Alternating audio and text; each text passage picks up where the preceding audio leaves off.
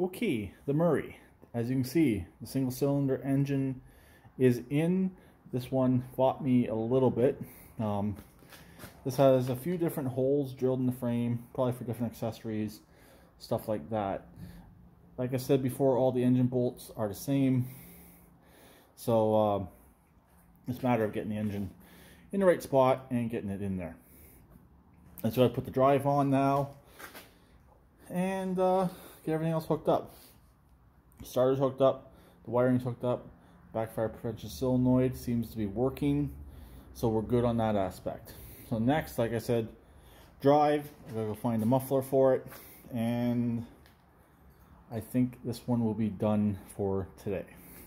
And, oh, and we'll do poss possibly do a throttle cable today, or I'll do that tomorrow. I just want to um, potentially test fire this, um, see what happens. But uh, there we go. Had a little bit of a uh, thing happen on the Craftsman. I'll explain that in a later video.